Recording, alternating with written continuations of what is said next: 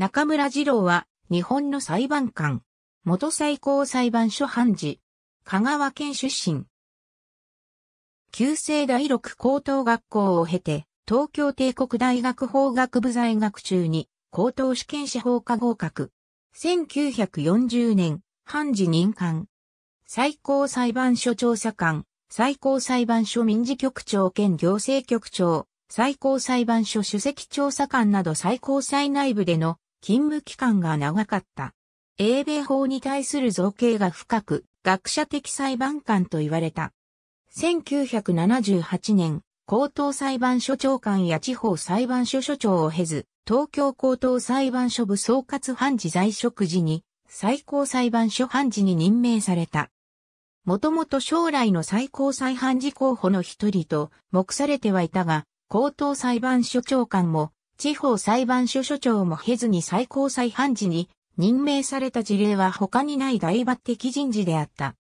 なお、裁判官出身の最高裁判所判事で、高等裁判所長官を経ずに任命された者は、中村以外では、最高裁判所事務総長から任命された、ちぐさ秀夫、東京高等裁判所部総括判事から任命された、岩田誠、東京地方裁判所所長から任命された、谷口正隆だけである。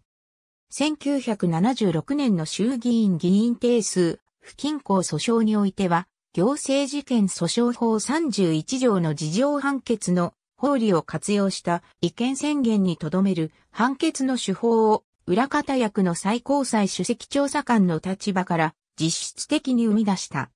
1981年の大阪国際空港騒音公害訴訟の判決では、夜間離着陸差し止めに反対する意見を残した。1984年に最高裁判所判事を退官後、弁護士登録。1993年8月24日、逝去。79歳没。